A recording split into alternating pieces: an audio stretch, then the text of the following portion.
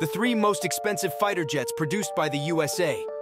The capabilities of the last one are unmatched. Number 3. FA-18 Super Hornet.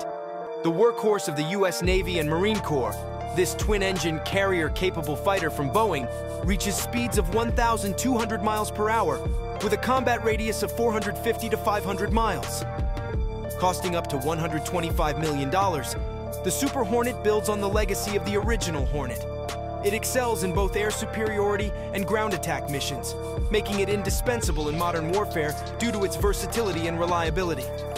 Number 2. F-35 Lightning II. Lockheed Martin's F-35 features cutting-edge stealth technology, sensor fusion, and network-enabled capabilities, allowing this fighter to operate in enemy airspace without being detected.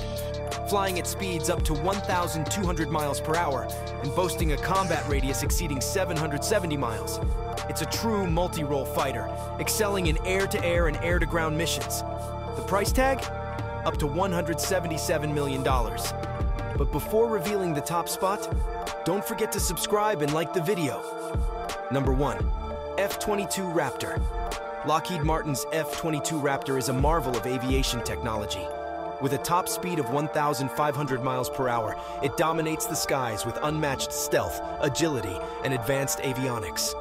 Its impressive range of 1,839 miles allows it to excel in air superiority, ground attack, and electronic warfare missions with precision and power, making it the undisputed king of aerial combat with a price of up to $350 million.